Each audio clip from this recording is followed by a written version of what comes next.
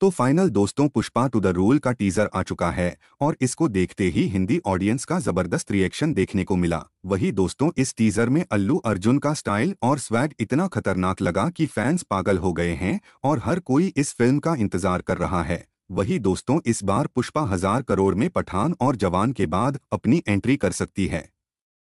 क्योंकि इस फ़िल्म लोग बहुत ज़्यादा इंतज़ार कर रहे हैं। सुकुमार और अल्लू अर्जुन ने मास एंटरटेनर पुष्पा द के साथ राष्ट्रीय और अंतर्राष्ट्रीय लेवल पर ऑडियंस का प्यार प्राप्त किया है।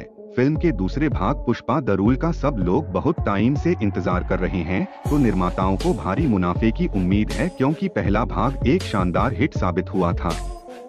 इस बीच अपडेट आए जा रहे हैं कि क्या सुकुमार अपने काम करने के अंदाज में बदलाव करेंगे। यह सबको पता है कि सुकुमार एडिटिंग टेबल पर भव्य और असाधारण रूप से शूट किए गए कई दृश्यों को हटा देते हैं। अपनी पहली फ़िल्म को छोड़कर।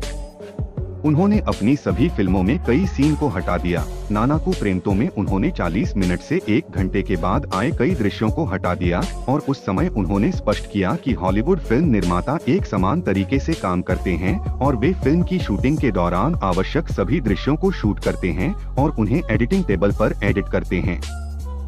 यह ज्ञात है कि पुष्पा द राइज की रिलीज़ से पहले ही सुकुमार ने पुष्पा द रूल का 70 परसेंट शूट कर लिया था, लेकिन पहला पार्ट हिट होने के साथ ही उन्होंने प्रोजेक्ट का दायरा बढ़ाते हुए कई बदलाव किए। लोग कह रहे हैं कि सुकुमार के लिए स्क्रिप्ट को कसना बेहतर है, ताकि प्रोडक्शन कॉस्ट और अनावश्यक एडिटिंग कॉस्ट कम हो जाए।